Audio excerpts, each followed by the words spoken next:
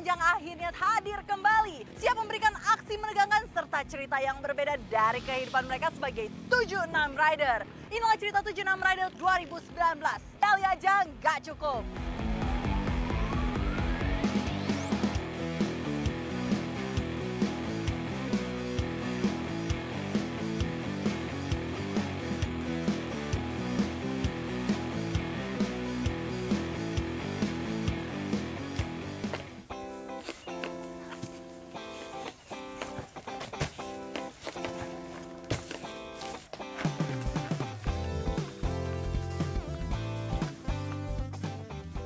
Agariansyah sebagai crosser terbaik tanah air senang sekali menunjukkan skill freestyle-nya ketika berlaga dalam balapan.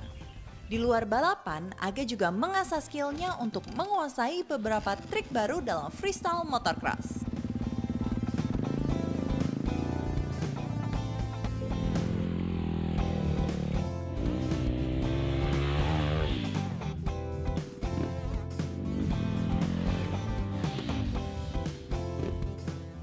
Ya untuk biasanya sebelum melakukan freestyle, khususnya freestyle di dunia motocross atau yang sering kita sebut dengan FMX, kita mempersiapkan mulai dari segi motor dulu. Kita setting motor khusus untuk freestyle, jadi kita ganti handlebarnya atau setirnya kita ganti yang lebih tinggi. Yang kedua kita rubah. Untuk joknya biasanya kita kalau freestyle menggunakan jok yang setipis mungkin karena kita butuh ruang agar kaki kita bisa moving ke, ke kiri ke kanan. Kita juga perlu setting suspensi. Jadi karena kita di dunia freestyle ini kita melakukan lompatan yang tinggi. Jadi kita harus setting suspensi yang keras karena kita akan turun di landing yang lumayan cukup tinggi. Jadi kita butuh landing yang meredam dengan cara setting suspensi yang agak keras.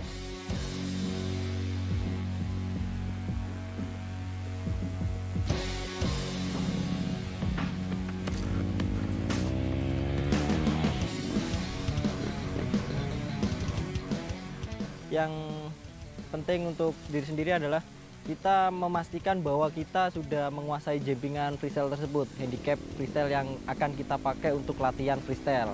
Jadi kita harus punya feel yang nyaman dengan handicap itu. Kalau kita nggak punya feel yang nyaman, kita susah juga buat melakukan freestyle karena kunci freestyle adalah ketenangan dan konsentrasi yang tinggi.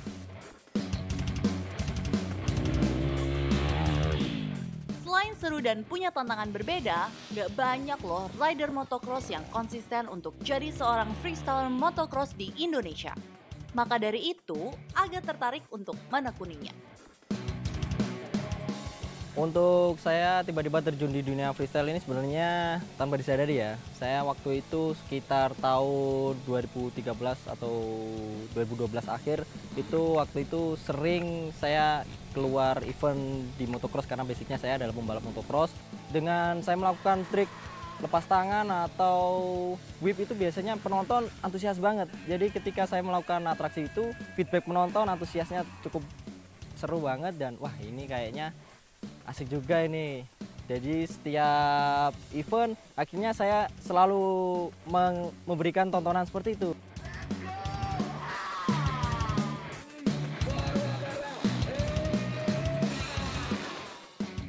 Yang membuat saya senang banget melakukan freestyle adalah yang pertama adalah ini mainan baru ya. Karena sebelumnya kita berkompetisi di dunia racing balap kompetisi enduro adventure untuk saat ini saya sendiri sebenarnya udah mulai fokus ke dunia freestyle ya. Karena saya sudah mengurangi balap di kejuaraan-kejuaraan motocross tapi saya masih terjun di trail game dirt. Dan ke depannya saya pengen freestyle ini lebih keluar lah lebih terangkat. Yang pertama tour. Seperti tour kita lebih ke show aja untuk event-event freestyle. Yang kedua kalau antusias teman-teman atau apa ya kandidat anak-anak muda pembalap muda yang mau terjun di freestyle mungkin kita akan konsepnya juga akan menggelar kejuaraan freestyle itu sendiri.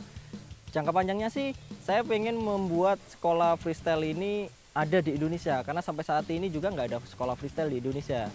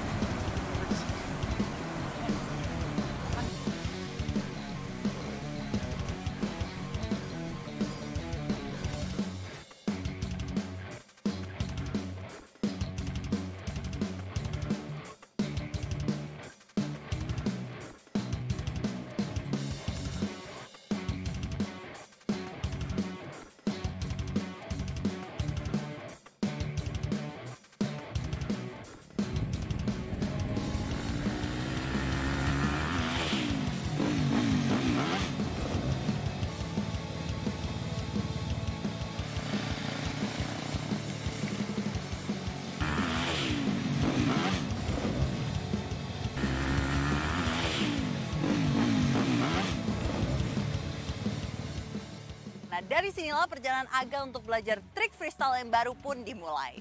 Semuanya ia lakukan agar skill dan trik freestyle-nya di motocross berkembang. Akankah Aga berhasil belajar trik baru tersebut menggunakan BMX?